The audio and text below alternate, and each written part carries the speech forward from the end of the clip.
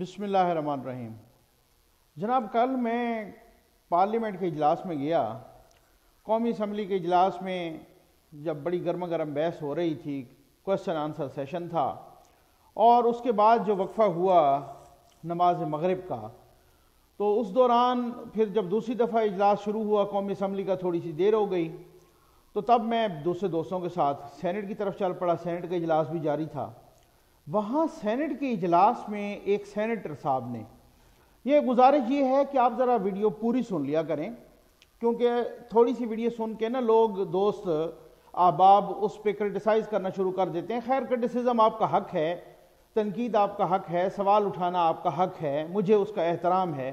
اور مجھے خوشی بھی ہے کہ آج کل بہت سارے دوست بہت اچھے انداز میں، بہت ڈیسنٹ انداز میں سوال اٹھا رہے ہیں اور جو بی ڈیسنٹ انداز میں ہزار سوال بھی آئے گا تو میں اس کو اسی طریقے سے جواب دوں گا۔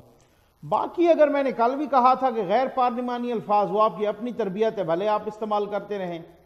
میں نے اپنے آپ کو کبھی بھی عقل کل نہیں کہا اور نہ کبھی کہوں گا، نہ کوئی ہو سکتا ہے۔ سوائے کوئی چند ہستیاں ہیں جو عقل کل ہونے کا دعویٰ کر سکتی ہیں، باقی میں، ہم تو بڑے گناہگار انسان ہیں، ہم تو نہیں کر سکتے۔ کال والی ویڈیو پہ میں قائم ہوں جناب۔ میں نے پوری ویڈیو میں نہیں کہا، آپ دیکھ سکتے ہیں میری دوبارہ ویڈیو۔ کہ جناب خان صاحب تو بالکل ہی ایکسٹینشن دیں گے ہی نہیں، وہ تو معاملات حال نہیں نہیں ہوں گے۔ میں نے کہا دباؤ بہت زیادہ ہے۔ ہو سکتا ہے، ہو جائے، لیکن خان صاحب یہ چاہتے نہیں ہے کہ ایکسٹینشن دینا۔ میں آج بھی اس پہ قائم ہوں۔ ٹھیک ہو گیا نا؟ اور آپ دیکھ لیجیے گا۔ اب میرا ایک اور کلپ آپ سنبھال کے رکھیں۔ ٹھیک ہے نا؟ جن کو بڑا اعتراض ہوتا ہے نا، وہ سنبھال کے رکھیں۔ میں کہہ رہا ہوں کہ ایکسٹینشن دے کے بھی یوں سمجھنے مارے جائیں گے۔ اب ان کو خود پتا ہے، ان کو خود پتا ہے مطلب سیاسی طور پہ۔ ایکسٹینشن دے کے بھی ان کو پتا ہے کہ سیاسی طور پہ ان کی سیاسی موت واقع ہو جائے گی۔ وہ ہو سکتا ہے دو مہینے اور لیٹ ہو جائے، لیکن یہ ڈیفینیٹلی وہ جو ہے نا مطلب اس کو، جس کے جس کے بارے میں، بر خیر اس کو چھوڑیں۔ تو جناب سینٹ کے اجلاس میں میں وہاں بیٹھا ہوا تھا۔ ایک سینیٹر صاحب اپوزیشن کے بینچز سے اٹھے اور کل ہیومن رائٹس کا دن تھا۔ ابھی آج بھی جانا ہے میں نے، آج مہنگائی پہ بڑی گرما گرم بحث ہوگی۔ اور ظاہر ہے prime minister of Pakistan Imran Khan صاحب نے بھی مہنگائی پہ ہی کابینہ کا بہت ہی اہم اجلاس بلا رکھا ہے۔ اب اس میں دیکھتے ہیں کہ وہ کیا ہوتا ہے، اس اجلاس میں کیا فیصلہ ہوتا ہے۔ اور قومی اسمبلیز یہ بھی آ کے میں آپ کے آپ کے ساتھ انشاءاللہ رات میں لیٹ نائٹ شیئر ضرور کروں گا۔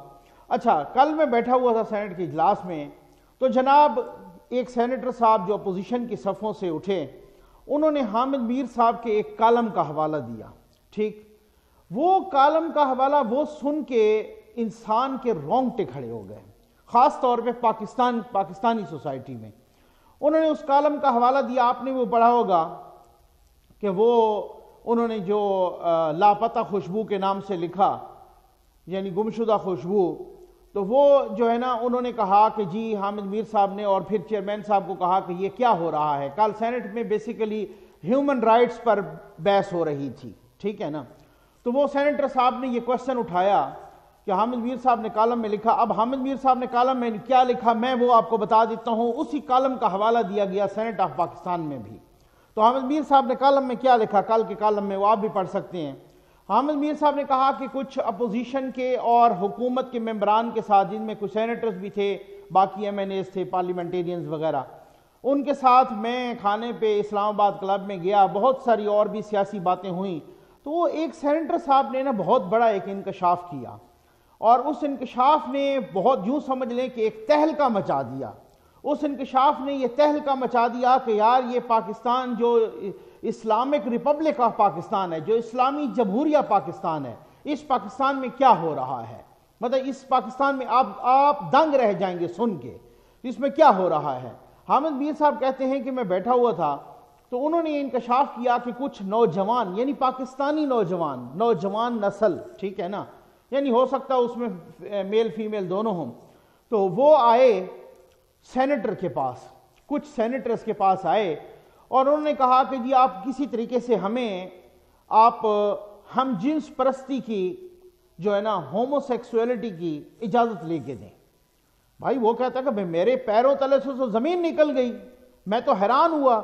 میں نے ان نوجوانوں سے کہا کہ آپ ایسا کریں، آپ نماز پڑھا کریں، آپ باقاعدگی سے بابوزو رہا کریں، آپ یہ جو ہے نا عبادات کیا کریں، آپ کے دل میں اس طرح کے خیال فاسد نہیں آئیں گے۔ انہوں نے تو بڑی اچھا ایک مشورہ دیا۔ تو پھر سے وہ کہنے لگے، وہ نوجوان جو آئے تھے، ایک ایک سفارش لے کے یعنی کہ ایک ایک طرح سفارش کرنے جی آپ ایسا ایک بل تو پیش کر دیں۔ تو اب آپ اندازہ کریں بھی ان کو یہ خیال نہیں ہے کہ جو ملک اسلام کے نام پہ بنا جس کے اسلامک پروویژن آپ دیکھ لیں، جس کے کانسٹیٹیوشن میں، تو وہ کہتے ہیں جی آپ ایک بل تو پیش کر دیں۔ تو جناب وہ بڑا حیران ہوا، کہتے ہیں کہ میرے انکار پہ میں نے میں نے انکار کیا، ظاہر ہے میں کس طرح سے اس طرح بل پیش کر سکتا ہوں۔ تو وہ دھمکیاں دے کے گئے کہ اچھا ہم آپ کو دیکھ لیں گے۔ تب یہ یہ اندازہ کریں، یہ وہ حالت ہے کہ جس طرح یہ انہوں نے سینٹر صاحب نے بھی حامد میر صاحب کو یہ حوالہ دیا اور کہا کہ جی ہم کس طرف چل پڑے ہیں، ہم کس طرف چل نکلے ہیں؟ یعنی یہ اسلامک ریپبلک آف پاکستان جو ملک اسلام کے نام پہ ایک طرف سے ہم شدت پسندی سے بچیں، وہ والی شدت پسندی، جس کو آپ مذہبی شدت پسندی کہہ لیں، جس کو آپ ٹیررزم کہہ لیں، جس کو آپ کچھ بھی کہہ لیں، اس سے آپ بچیں تو آپ دوسری طرف لبرلزم کی شدت پسندی کی طرف چل نکلیں۔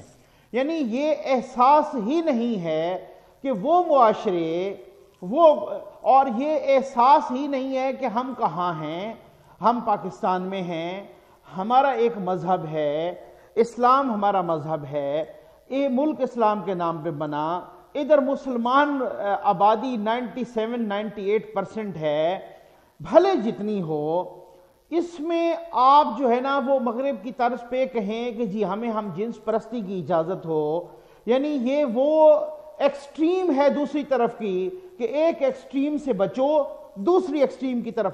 ہم کیوں ایسی چیزوں میں غرق ہو گئے ہیں کہ ہم نے ایکسٹریم پہ ہی رہنا ہے؟ ہم توازن میں کیوں نہیں رہ سکتے؟ ہم توازن کیوں کھو چکے ہیں؟ ہم توازن برقرار رکھنا اپنے لیے اتنا بڑا مسئلہ کیوں سمجھ رہے ہیں؟ کہ یہ اس شدت پسندی سے کیا بچنے کے لیے حل یہی ہے کہ ہم شراب و کباب کی طرف چلے جائیں۔ ہم حل یہی ہے کہ خدا نہ خواستہ ہم ہم جنس پرستی کی طرف چلے جائیں۔ اب اگر کوئی یہ کوئی باتیں کرے، اسے کہتے ہیں جی آپ تو مولوی ہیں اب تو شدت پسند ہیں اب تو انتہا پسند ہیں۔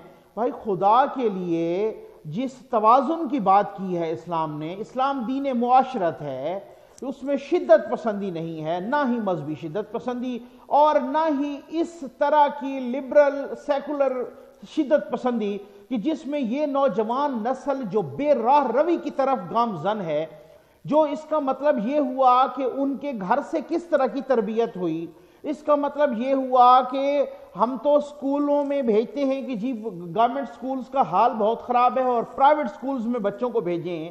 جو امریکن سکولز ہیں، جو کہ آکسفورڈ اور جو کہ اس کے کیمبرج کے سکول ہیں کیمبرج سسٹم کے اور جو آکسفورڈ کے سکول ہیں، اس کا مطلب ہے کہ اور وہ یونیورسٹیز جو ہیں آگے چل کے، اس کا مطلب یہ ہے کہ نوجوان نسل یہ تربیت لے رہی ہے وہاں سے، نوجوان نسل کیا، ہماری کہاں کس طرف ہم چل پڑے ہیں، کس طرف؟ مطلب آپ آپ اندازہ کریں کہ سوال اٹھانے کی جرت ہی کیسے ہوئی؟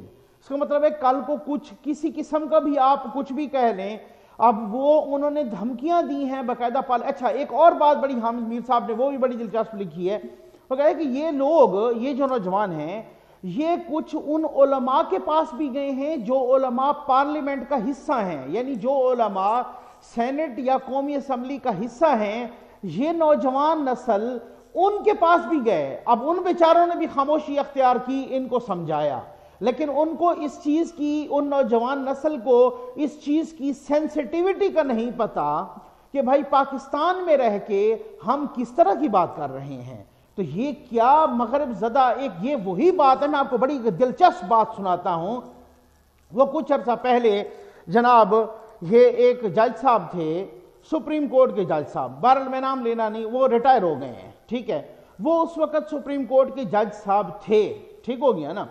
اچھا تو اب بلکہ میں، کوئی مسئلہ نہیں ہے رمدے صاحب، خلیل الرحمان رمدے صاحب، ٹھیک ہو گیا نا؟ تو اب جناب وہ رمدے صاحب نے جو ہے نا ان کے اپنا کہتے ہیں کہ جی میں، انہوں نے اچانک نا ایک دفعہ انڈین ڈراموں پر اور انڈین موویز پر اور ان پر نا پابندی عائد کر دیں اچھا انہوں نے اپنے دوستوں کو بتایا کہ میں آپ کو بڑے کام کی بات بتا رہا ہوں اور بڑی دلچسپ بات بتا رہا ہوں۔ انہوں نے کہا کہ میں ایک شادی کی تقریب میں گیا نکاح میں، نکاح کی تقریب تھی، نکاح بھی ہوا، شادی بھی ہوئی وغیرہ۔ تو میں اپنے بیٹے کو ساتھ لے لے کے گیا۔ ٹھیک ہے؟ تو جیسے دوستوں کے، دوستوں، دوست، رشتہ دار، احباب وغیرہ کی شادی میں جاتے ہیں، تو کہہ رہے ہیں کہ میں بیٹے کو بھی ساتھ لے گیا۔ تو وہ کہہ رہے ہیں کہ جناب کہ میں وہاں سے جب ہم واپس آ رہے تھے، تو وہاں میرے سے بیٹے نے پوچھا کہ ابو یہ کیسا نکاح تھا کہ انہوں نے پھیرے تو لگوائے نہیں۔ وہ کہتا کہ میرا ماتھا ٹھنکا، میں جناب کو کلک کر گئی بات، میں تو بالکل میرے پیروں تلے سے زمین نکل گئی کہ بھائی ہم کس طرح کی تربیت کر رہے ہیں؟ اس کا مطلب یہ ہے کہ ہماری نئی نسل کو نہ اپنے ٹریڈیشنز کا پتہ، نہ اپنی روایات کا پتہ، نہ مذہبی رسومات کا پتہ۔